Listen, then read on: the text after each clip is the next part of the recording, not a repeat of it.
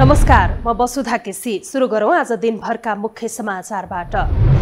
नवौं संविधान दिवस भव्यताका साथ मनाइयो। कार्यान्वयनमा राजनीतिक दलहरूले उदासीन देखिँदा सर्वस्वीकार्यता बढेन।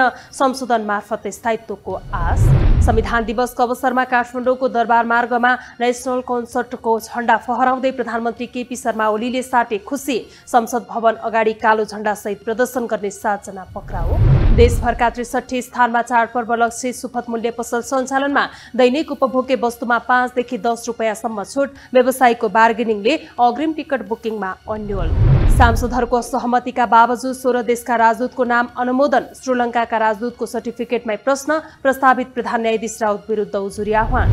प्यालेस्टाइनी भूभागबाट इजरायल हट्नुपर्ने प्रस्ताव राष्ट्रसङ्घबाट पारित। नेपालसहित त्रिचालिस देश तटस्थ लेबनानमा पेजर विस्फोटपछि विद्युतीय उपकरणको सुरक्षामा प्रश्न।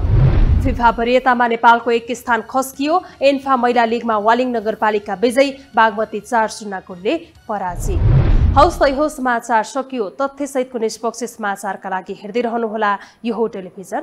नमस्कार।